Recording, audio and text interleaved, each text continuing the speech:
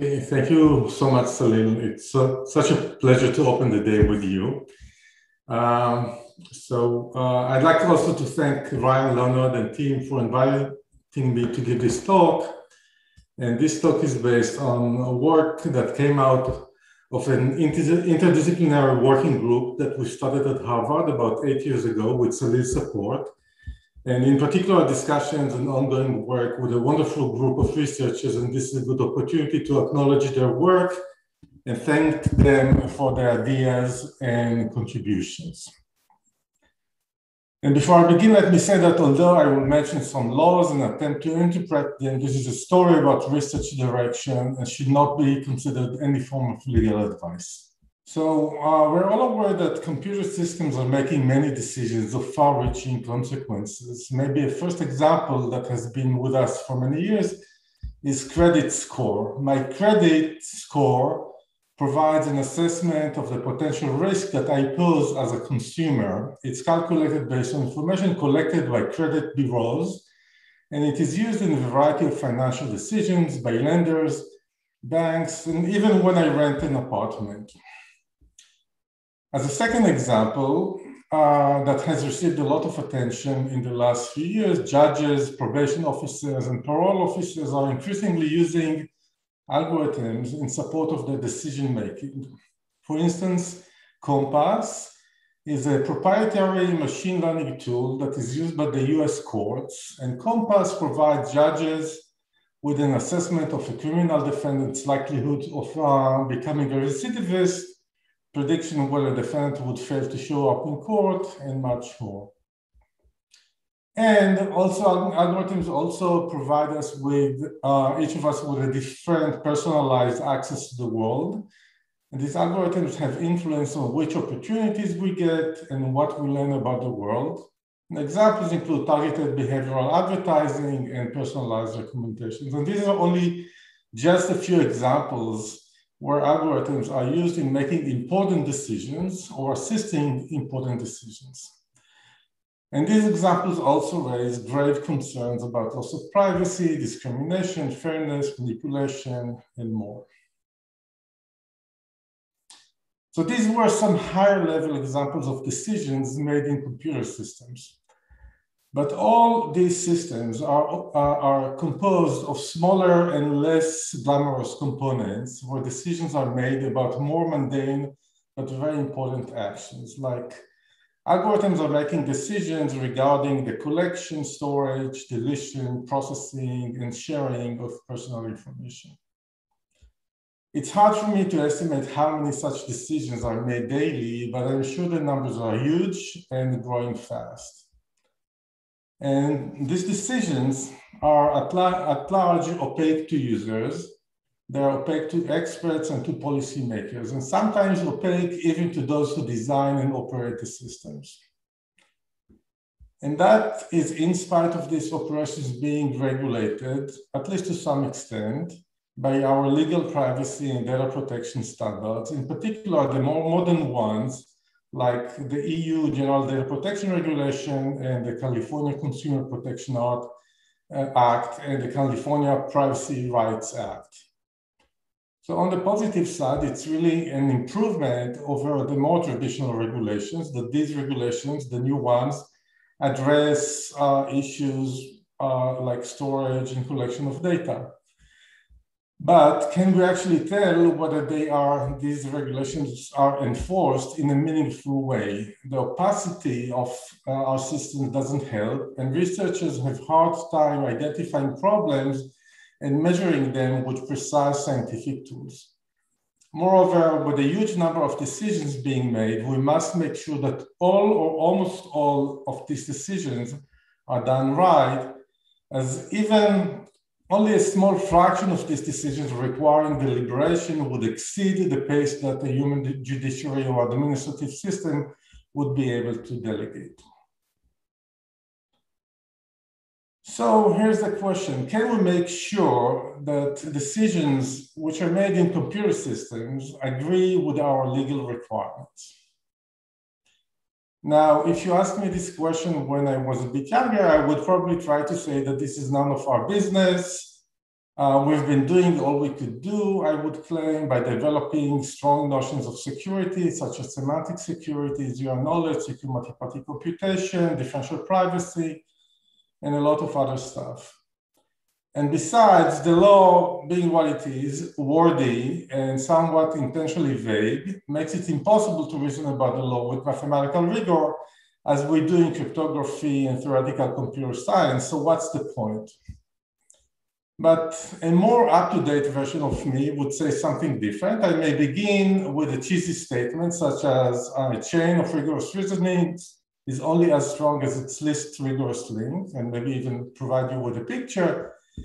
And then I will argue that the entire purpose of developing strong technologies such as secure multi-party computation differential privacy was to make sure we can construct systems that achieve societal goals. So what's the benefit of rigorous treatment of privacy and data protection if we don't try at least uh, to carry this uh, rigorous analysis to the end?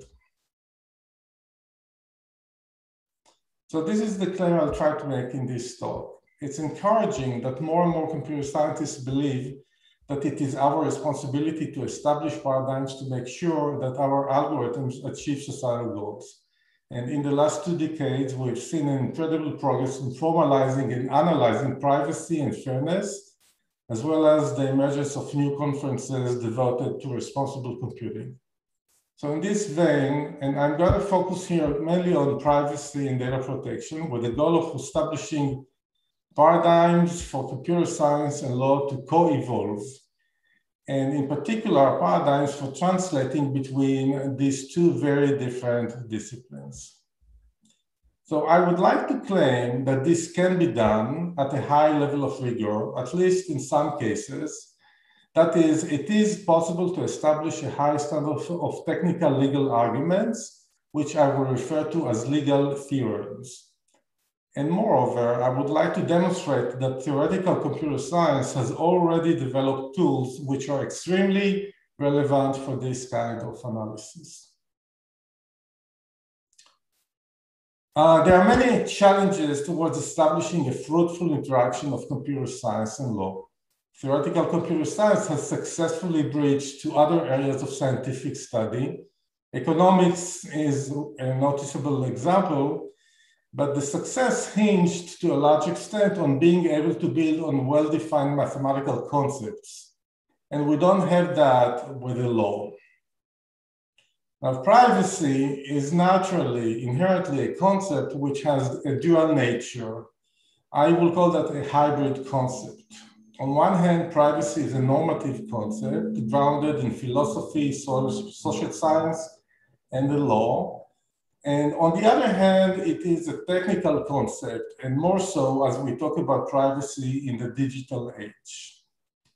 So focusing on the technical and legal aspects of privacy, we see very different approaches.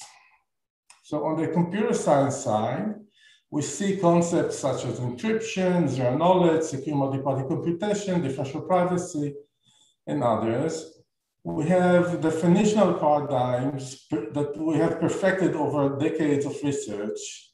And our definitions use precise mathematical formulation, and we use rigorous mathematical reasoning. On the legal side, we see something very different. We see a large collection of concepts which serve as the basic building blocks of legal privacy standards these concepts include the notion of personally identifiable information, or PII, as well as many other concepts. I will just enumerate a few, uh, de-identification, anonymization, linkability, and quite a few more. These concepts are not defined with mathematical precision. There are many gray areas left, making it hard, or maybe very hard, to confidently determine whether a privacy goal is preserved, and at the same time leaving many loopholes to be exploited. And moreover, legal desiderata lags behind our scientific understanding to the point they sometimes express goals which are simply not achievable. A notable example is ignoring uh, the cumulative effect of multiple data releases on privacy. So I want to mention some work, some related work, and I apologize that this is not a co comprehensive list, and I will focus on work in the directions which are most relevant to, uh, to this talk.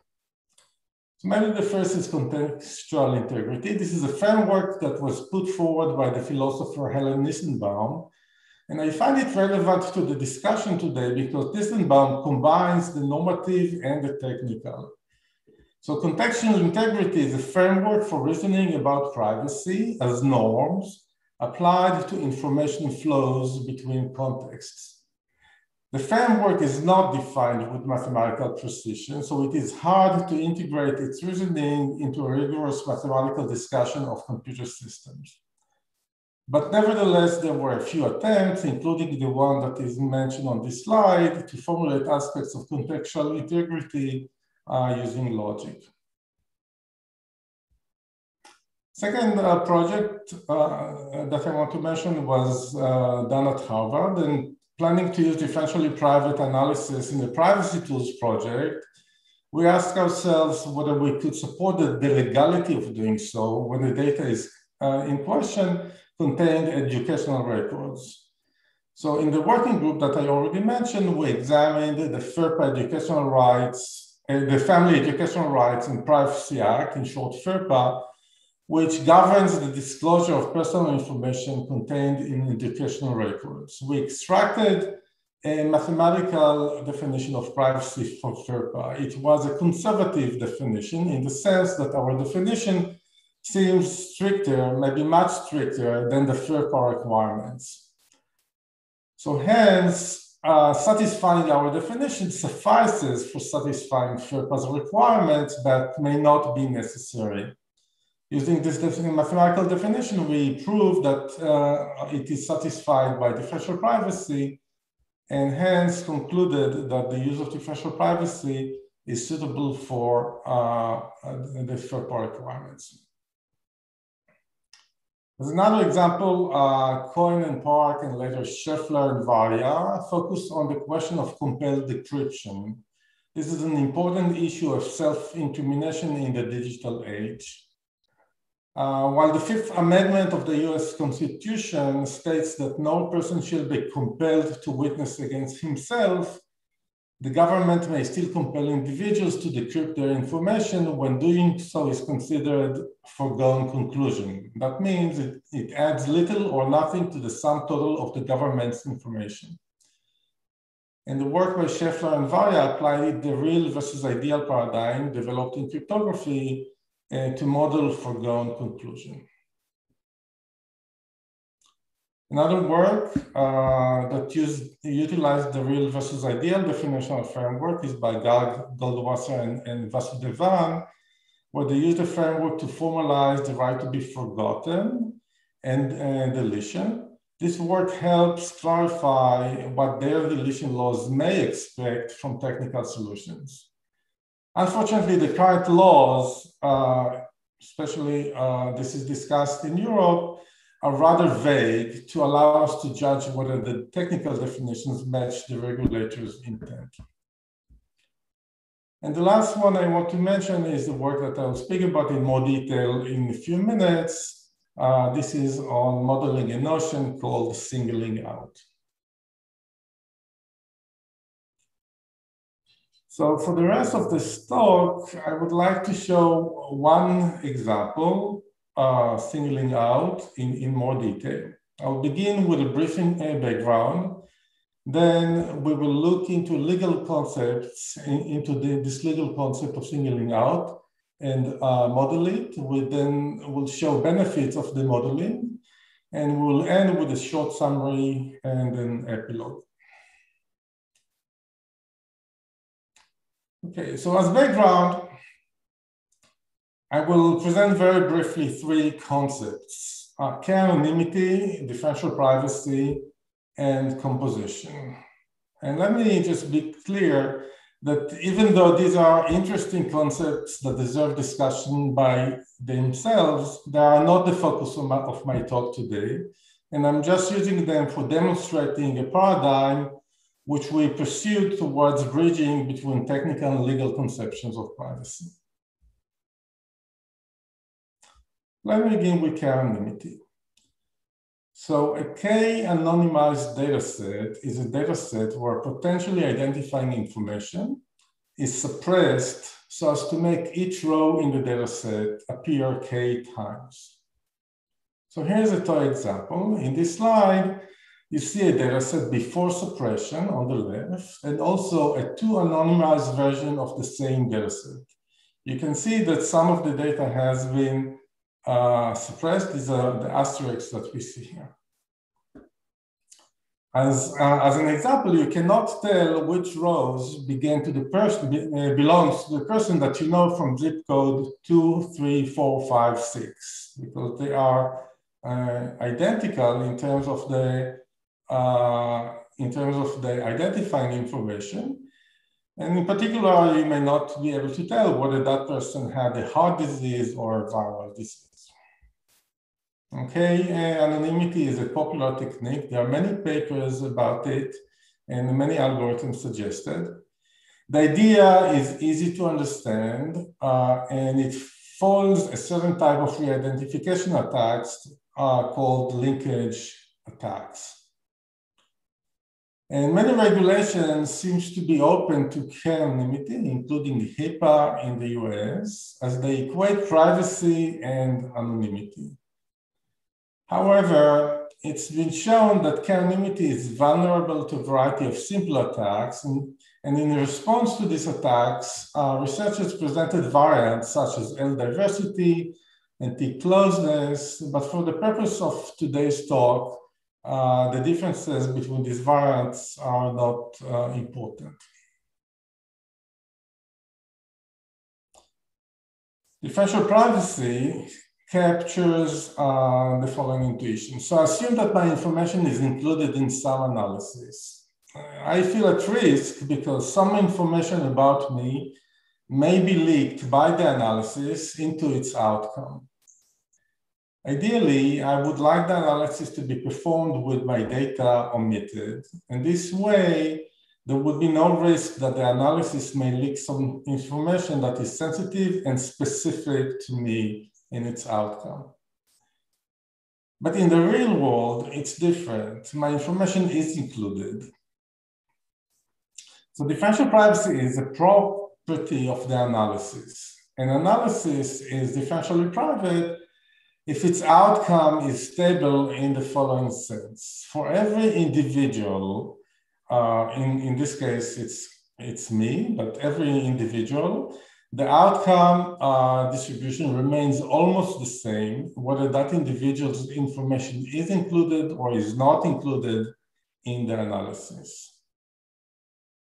So this definition does not require the outcome distributions to be identical. It turns out that this would mean that the analysis must ignore all its input and become useless. So instead, there is a parameter here, epsilon, and the definition allows some non-negligible distance between the distributions, between the outcome distributions. Um, epsilon bounds privacy loss. It's referred to as the privacy loss parameter and um, plays an important role in, in budgeting and, and managing privacy in differential privacy. I'm not going to get into a lot of details. Um, so the intuition that was pictured in the previous slide is formalized in this mathematical definition. Um, several variants of differential privacy exist. I'm presenting here the simplest one, which is also referred to as pure differential privacy. Now, having a well-formulated mathematical definition uh, for differential privacy allows us to make formal claims.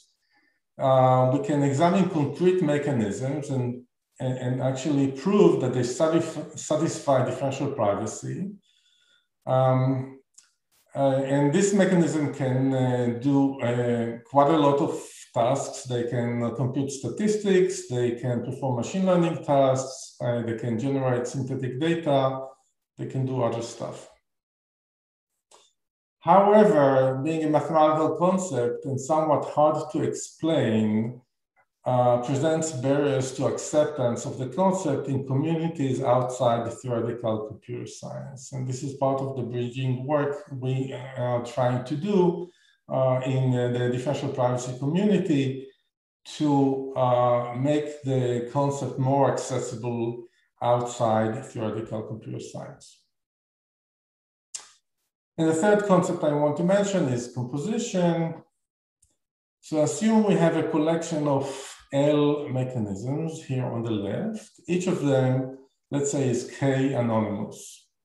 What happens if we consider a bigger mechanism, which is just the combination of this mechanism?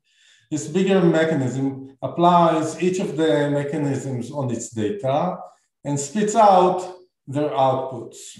Is this mechanism also K anonymous? This is a composition question. It turns out that this not doesn't have to be the case. And uh, an early work by Ganta et al. showed theoretically and also simulations that k-anonymity does not is not preserved under composition. And there's a recent work of Aloni Cohen that shows that this also happens with real-world k-anonymized datasets. You can ask the same question about differential privacy, and it turns out that differential privacy does compose, and the resulting privacy loss parameter can be computed or at least bounded. And we have a collection of composition theorems for doing that. So that was my brief um, uh, background. And the rest of the talk is mostly based on these two papers. Together, they provide a legal technical analysis uh, of, of this concept called singling out from the GDPR. And I will try now to show some of this analysis.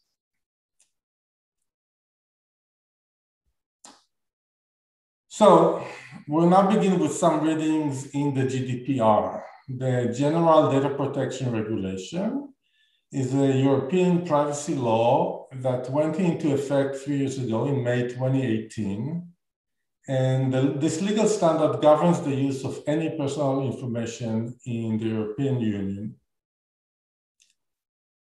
And data can be extracted from the regulation if it is processed so as to be rendered anonymous. Okay. And we will see to understand what it means for data to be rendered anonymous, we would need to understand a specific concept from the GDPR, which is called singling out. We'll make an attempt to develop a technical concept matching the GDPR notion of singling out. What we will get is a different concept that we will call predicate singling out. Okay, so let's begin our reading in the GDPR. Article 1 of the GDPR sets the scope of the regulation. The article says, this regulation lays down rules relating to the protection of natural persons with regard to the processing of personal data.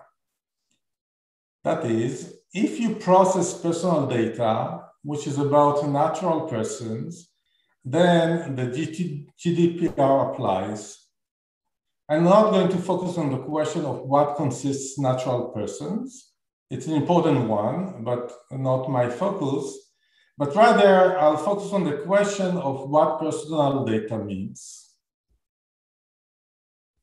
And when we get a little more detail in Article 4 of this legal standard, it says Personal data means any information relating to an identified or identifiable natural person directly or indirectly.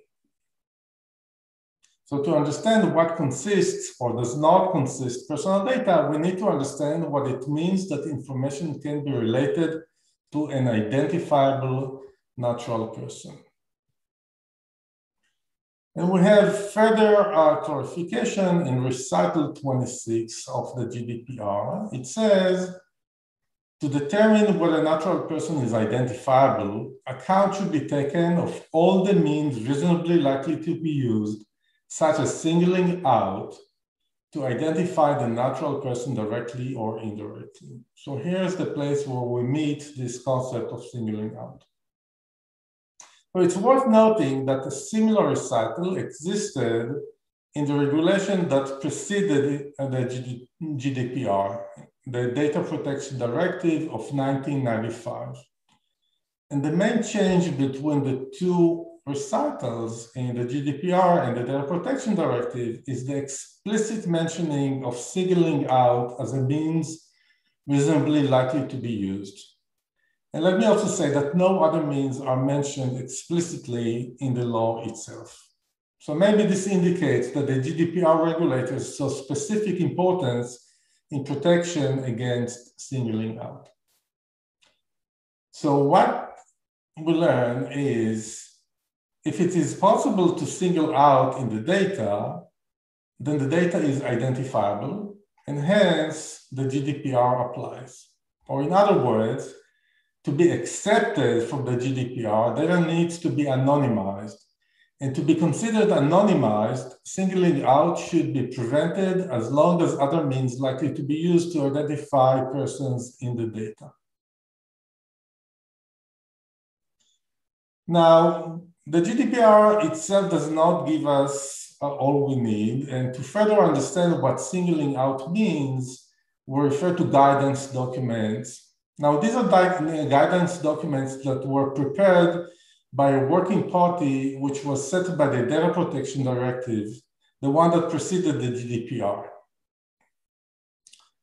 The working party produced opinions, recommendations, uh, reports, providing expert opinion, guidelines, and generally it provided the interpretation of the Data Protection Directive requirements. And they did put forward three criteria for rendering data anonymous. Is it, sing- is it is singling out a risk? Is linkability a risk? And is inference a risk? Now, the Article 29 Working Party has been replaced by the European Data Protection Board, EDPB, but the EDPB has not yet provided updated guidance on the questions that we will discuss today, except repeating the focus on singling out linkability and inference. So uh, the Article 29 Working Party documents are hence are, are, are, still those providing the most authoritative interpretation of the concepts that we will discuss. So let's read what they say. As regards indirectly identified or identifiable persons, this category typically relates to the phenomenon of unique combinations, whether small or large in size. A name may itself not be necessary in all cases to identify an individual. This may happen when other identifiers are used to single someone out. So we learned that singling out does not require an explicit identification, a name, and singling out can happen via a unique combination of attributes. And this combination could be simple or complex, small or large.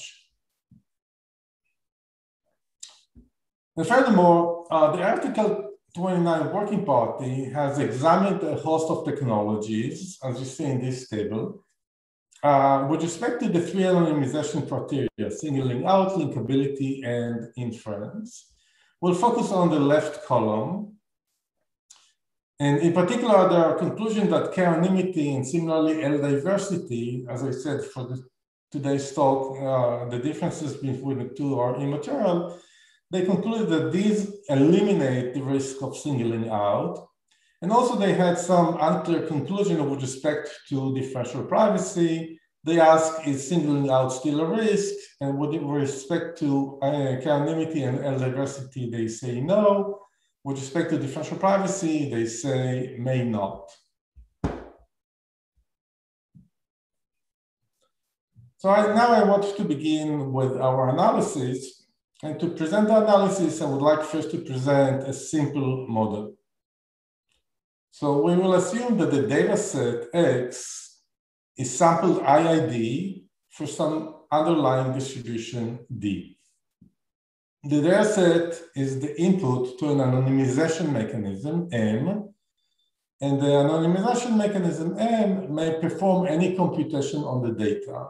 it could try to make it k-anonymized, or maybe it would compute a statistic, or maybe it uh, will uh, create sanitized data set. Now, the output of the anonymization mechanism is give, given as input to a singling out adversary. And the singling out adversary outputs a description of a potential person in the dataset X. So uh, mathematically, we'll model this as outputting a predicate over the attributes stored in the dataset X. So we'll first examine an idea which seems to fit the Article 29 working party interpretation, which, and we are going to call this isolation. So if singling out is identical to, to isolation, that the goal of the singling out adversary is to output a predicate which matches exactly one row in the dataset X. So this is our first definitional attempt. The mechanism M, we say that M is secure against singling out if no adversary can isolate a row in, eh, in X except with neg negligible probability. And the probability is over all the randomness. Here is the randomness in choosing X IID from D and the coins of M and A.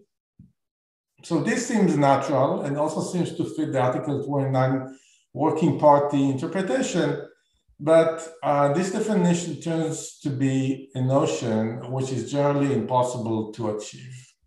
Let's see why. So consider what happens when the singling out adversary does not get to see the outcome of the anonymization mechanism.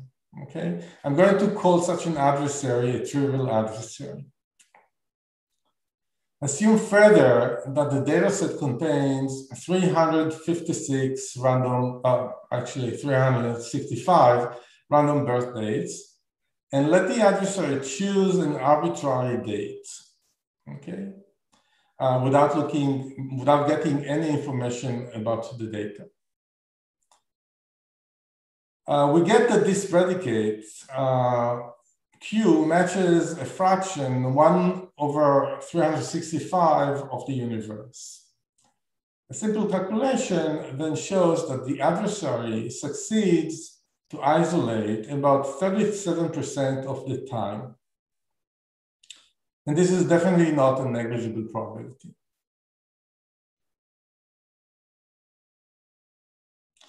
And this actually generalizes. So assume that the data is sampled from a distribution with moderate min-entropy, at least logarithmic in, in n. Then the adversary can apply the leftover hash lemma to output a predicate of weight approximately one in n. And redoing the calculation gives uh, that the adversary success in isolating is about one over E, actually it's always greater than one over E, and that is about 37%.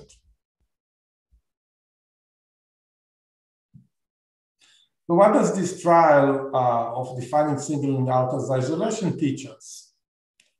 So assume that instead of choosing a predicate of weight 1 over n, the adversary chooses a predicate of weight w. So repeating the same simple calculation, we get the following expression, which we take as a baseline for comparison. And if you look at the baseline, it is maximized when the weight W is one over N, and it goes to zero as we deviate from one over N. Either we, we increase or decrease uh, the, the weight. In particular, when the weight W is negligible, the baseline is also negligible. So our modified definition will use the following idea. Singling out happens when the adversary improves significantly over the baseline, meaning that the adversary uh, uh, improves over a trivial adversary uh, outputting um, a, a, predicate of, of the same weight or, or, or, or similar weight. So let's see uh, examples when uh, the adversary manages to do something that may be considered significant. Like if we're using a predicate of one over n, as in the birth date example, the attacker succeeds with probability 37%, okay? We're not impressed uh, if uh, the attacker succeeds with 37% uh, uh, chance of, of, uh, of, of isolation, because we could do that even without access to the data. But if the attacker succeeds with probability close to 100%, then the attacker actually makes use of the anonymizing mechanism. And this may be considered as a singling out, uh, as a successful singling out. And even more so, if an attacker manages to isolate with a predicate that is of such low weight that we don't even expect that a person satisfying the description exists, then this is not trivial. So I'm going to give here just a simplified and informal version of the definition. First, note, that we don't call our concept singling out, but predicate singling out to distinguish them. Uh, we want to indicate that this technical concept differs from the GDPR concept of the singling out. And furthermore, if you also want to go through a modeling exercise and try to come up with another uh, model for uh, uh, the GDPR notion of singling out, there, there is a room uh, for that for that concept, uh, and we can name them differently, and we can compare them. So we hope that uh, this is just the starting point for for this kind of uh, discussion. Now, to simplify things, I only refer to singling out with a predicate of negligible weight. We say that M, the anonymizing mechanism, is secure against predicate singling out if no adversary can isolate with a predicate of negligible weight, except with a negligible uh, probability. That is, considering negligible weight predicates, the adversary cannot improve significantly over the baseline, which is also negligible. So now we can ask quite a few questions. For instance, is security against predicate singling out attainable? Okay, otherwise, if it's a vacuous, vacuous concept, then it's not very interesting. Uh, does this notion compose? and whether differential privacy and anonymity provide security against predicate singling out. And you could ask other questions also. So the first result is count that counting mechanism, such as reporting the number of persons in the dataset who are the, who are diabetic, these mechanisms are secure against predicate singling out. This is an important family of uh, mechanisms. It allows us to perform statistics, at least basic statistics over the data while satisfying this uh, criteria. We can also ask whether this notion uh, composes. And here we have a negative result. Uh, predicate singling out, security against uh, predicate singling out does not self-compose. Now we have two proofs for this negative result. In the first proof, uh, we use little omega of log n mechanisms, counting mechanisms. And, and because these are simple and natural mechanisms that are likely to be used in many applications, uh, we think this is significant. And furthermore, we uh, believe that because these are simple and, and, and, and very useful mechanisms that uh, this failure to compose may indicate a problem not only with our formulation, but also with the concept of singling out more broadly. Second proof is, is stronger. It only uses two mechanisms. So it demonstrates that even two uh, PSO secure mechanisms uh, each of them secure individually. When we combine them, we lose the security. But uh, the mechanisms we use here seem less likely to be similar to mechanisms that would be used in practice. So now we're ready to make determinations whether the two technologies that I focused on, differential privacy and k-anonymity, provide security against predicate singling out. So for differential privacy, we can prove that any mechanism which satisfies differential privacy is also secure against predicate singling out. And the proof reveals some uh, connections between singling out and the generalization properties of differential privacy is a subject that has received much attention in the last five, six years. Now for k-anonymity, we prove that typically k-anonymity enables predicate singling out, in particular, when the underlying distribution has sufficient min-entropy.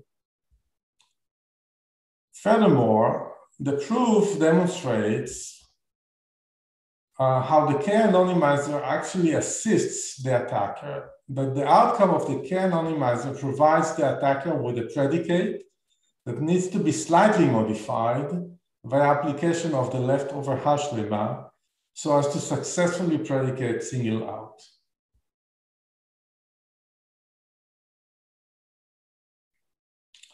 Let me give a uh, like sketch quickly how this proof goes.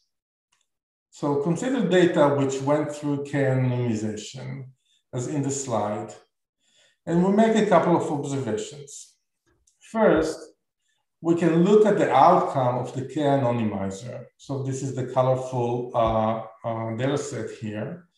We can look at it as a collection of predicates, each corresponding to, sorry about this, okay, as a collection of predicates, each corresponding to the attributes which were not suppressed in the group uh, of k rows, in a group of k rows. So here, here we see the predicates. Uh, now, k-anonymization aims to suppress as little as possible. So the weight of each of these predicates would typically be negligible. And these predicates uh, do not isolate in the data, but they are, get us quite close to isolation. They get us to groups of size k or maybe a little more. So very little is needed now to be done to turn one of these predicates provided by the k-anonymizer into a predicate that isolates in the data. So we can now apply the leftover hash lemma as we did with the trivial uh, uh, adversary before. So this way it's easy to create a predicate over the remaining attributes uh, in the dataset with a weight about one over k, the attributes that were not suppressed. And this predicate isolates with probability 37%. So the attacker can now output a predicate of negligible weight that isolates with probability 37%, uh, meaning that the attacker can now uh, uh, uh, predicate single out. Now notice that the theorems that I just mentioned talk about compliance, not with the legal standard, but a concept that we have just invented, predicate singling out. Okay, so we still need to ask whether uh, what this says about uh, the requirements of the GDPR. So how do we cross this last last bridge? So let's recall some of our modeling decision and design, design choices for security against predicate singling out. So first, we only considered IID data. This is, in a sense, the simplest case to deal with. So we should expect any anonymizer to deal well with IID data. But real world data would typically include dependencies. Second, in our modeling, the attacker only gets to see the outcome of the anonymizing mechanism, and in particular does not get access to any auxiliary information. And finally, in our analysis, we focus on predicates of negligible weight, but predicates of non-negligible weight may still be of interest. So this means that our modeling is of a concept which is likely weaker than what the GDPR regulators had in mind for singling out. So in terms of consequences that we can draw, this means that negative results are of a higher consequence. Failure to protect against predicate singling out likely implies failure to protect, to protect against GDPR singling out. So now we're ready to cross a line between computer science and law and make what I will call a legal theorem. So let's first look on, on the legal side. Recall, recall that recital 26 tells us that if a mechanism enables singling out attacks, the legal notion of singling out, maybe not the one that we uh, uh, introduced, that this mechanism fails to anonymize under the requirements of the GDPR. On the computer science side, on the technical side, we've put forward a notion that we call predicate singling out, and we proved that k-anonymity typically enables predicate singling out. Furthermore, as we just discussed, we made modeling decisions which make predicate singling out potentially weaker than the legal notion of singling out. So if k-anonymity enables predicate singling out, then it also enables the GDPR notion of singling out and hence fails to anonymize under the GDPR. And note that our positive result with respect to differential privacy has only restricted implications. So for differential privacy, we show that it prevents predicate singling out. This suggests that it may be more suitable than k-anonymity for the GDPR anonymization standard, but we need to do more analysis for two reasons. The first is that predicate singling out is likely weaker than the GDPR notion. And the second reason is that singling out is only one of the means likely to be used to identify a natural person. So the protection of differential privacy needs also to be assessed with respect to other means. A concrete consequence of this work, we believe that the Article 29 Working Party assessment of k-anonymity, similarly L diversity, should be reconsidered. And we hope that the EDPB, the European Data Protection Board, which replaced the Article 29 Working Party under the GDPR, will update its recommendations in consideration of our analysis. So let me summarize what we've seen. So we began with a concept appearing in legal data protection, in a legal data protection standard, the GDPR, and trying to model it, we came up with a definition of security against predicate singling out. This is a technical concept that probably does not fully capture the concept of singling out from the legal documents and legal guidance. But having a precise technical concept, we found that it's not vacuous. So there's a significant family of mechanisms, counting mechanisms, that is secure against predicate singling out. And furthermore, we show that the concept does not self-compose, and we we, we noted that this may have consequences not only for the concept we presented, but the, to the GDPR notion of singling out. We improved the claim, which I believe has legal consequences.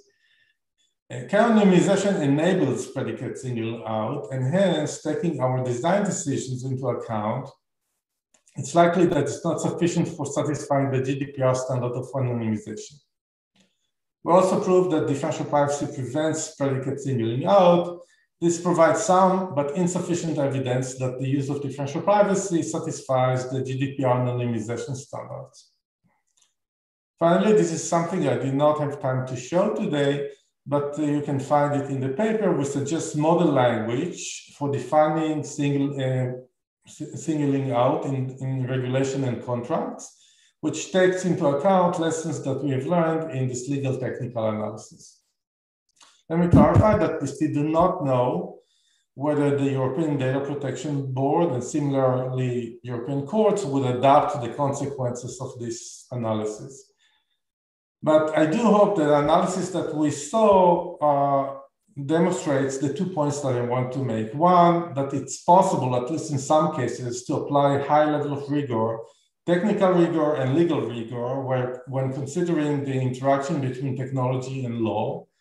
And the second one is that theoretical computer science has developed paradigms and tools which are very relevant for this kind of analysis.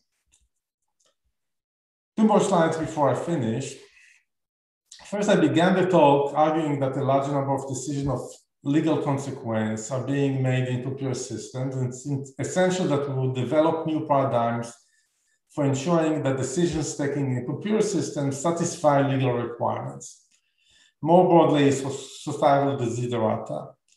In particular, we need to ensure that adequate protection is provided to individuals, to groups, and society at large.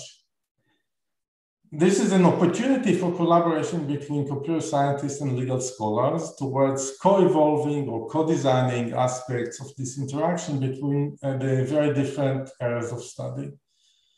And this kind of collaboration, as we see, would require rethinking of some of our definitional paradigms and reasonings, and it will likely highlight fresh new algorithmic challenges and hopefully it will uh, help us develop better data protection technology and future regulation.